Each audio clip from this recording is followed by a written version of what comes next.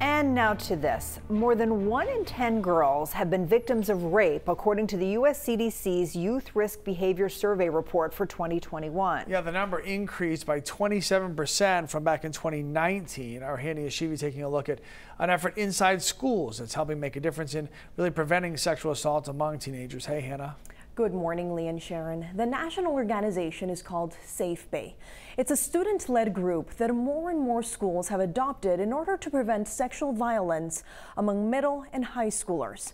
It educates teens about assault prevention, being an active bystander, how to better understand consent, how to help a survivor, avoiding victim blaming, and to just increase their knowledge on how to report abuse in school. I visited the Baxter Academy for Technology and Science in Portland for one of their weekly student-led meetings. On Tuesdays, any student who'd like to come and join the SafeBAE Club at Baxter can do so. Okay, okay. On this day, eight showed up. Today we're going to be doing a red, green, and yellow flag activity where we're going to be looking at different relationship dynamics. Red flag. Red flag. Activities led by students for students. That's a good idea. SafeBAE has groups in 17 Maine schools. Senior Rowan Woodcock leads this school's club. Our school needs a lot of change. Uh, we don't have a health class, and um, there's a lot of rape culture that happens at our school. And so I decided to make change within our school. Yeah. We could talk about maybe trust issues. Yeah. The program focuses on a topic many not talk about, but one that's very common and present among teens sexual assault and how to prevent it. And like respecting that space and respecting yep. that boundary. Yep. I see it affect a lot of my friends and it affects me. Um, and I think it's very apparent at our school. And very apparent on a national level. One in three girls will experience sexual violence and one in six boys under the age of 18. Sometimes that's adult to child perpetration and sometimes that's peer to peer.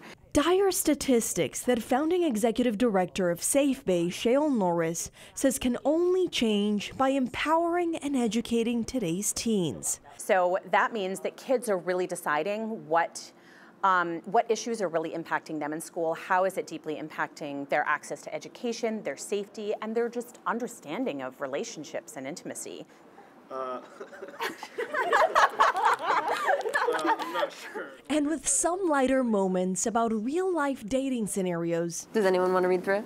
Just sitting here and engaging in conversation is the overall goal. So we want to make sure that kids and everybody have the tools to respond to somebody that comes forward, help them access healing, and, and not be um, in a position to victim blame. Preventing, responding, and acting. Three focus words that are helping these and many other students understand what a healthy relationship is. Right. This has honestly brought a lot of happiness and purpose to my life. Um, this is always something that I've wanted to do for the school since freshman year. Um, and so having this opportunity has just been a really positive thing in my life. If we don't start this work early, we're not preventing that whole lifetime of, I mean, it's everything from domestic violence to workplace harassment. Any Maine school that wants consent education can get it thanks to a grant happening all this year where SafeBAE staff and trained students will come to your school to offer free preventative sexual assault trainings for students and staff members. If you are a student who has experienced sexual assault and you need direction to resources, you can reach out to SafeBAE in any of their social media pages and they would be happy to provide guidance and support. Lee and Sharon. All right, really important issue to address. Thank you, Hannah.